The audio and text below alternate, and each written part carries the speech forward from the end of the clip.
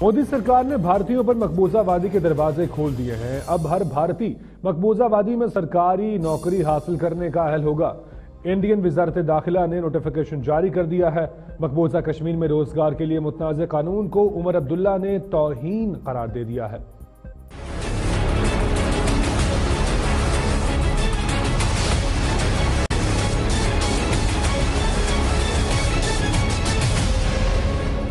بھارت نے مقبوضہ جموں و کشمیر میں پانچ اگست دو ہزار انیس کو خصوصی حیثیت ختم کرنے اور مقبوضہ خطے کو تقسیم کرنے کے بعد سرکاری نوکریوں کے حوالے سے بھی متنازع قانون نافذ کر دیا ہے۔ متنازع قانون کے تحت مقبوضہ جموں و کشمیر مقامی رہائشوں کے لیے مختص ہیں، جبکہ دیگر تمام نوکریاں پورے بھارت کے شہریوں کے لیے بھی کھلی ہوں گی۔ بھارتی حکومت نے متنازع قانون کے تحت شہریت کی تعریف بھی بدل دی ہے اور اس میں گزشتہ پندرہ برس سے مقبوضہ جموں و کشمیر میں رہنے والے افراد کو بھی شامل کر لیا گیا ہے۔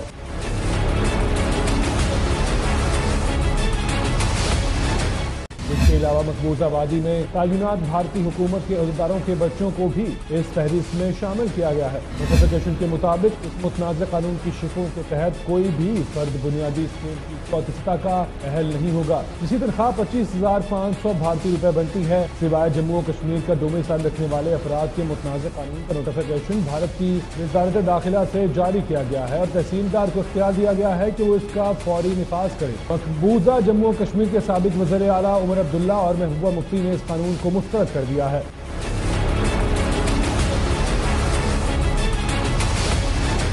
نیشنل کانفرنس کے سربراہ عمر عبداللہ نے اپنے بیان میں کہا ہے کہ مرکزی حکومت زخموں کو گہرا کر کے توہین کر رہی ہے۔ ایک ایسے وقت میں جب کورونا وائرس سے جنگ جاری ہے، اس طرح کے قانون جاری کیے جا رہے ہیں۔ ادھر محبوبہ مفتی کی جماعت، پیپلز ڈیموکریٹک پارٹی کی جانب سے جاری بیان میں کہا گیا ہے کہ دومی سال کے قانون سے نہ صرف ریاست کی موجودہ سرحدوں کو جھنجھوڑا گیا ہے، بلکہ جموں و کشمیر کے عوام کو بدترین مسائل سے دو چار کرنے کی کوشش کی ہے۔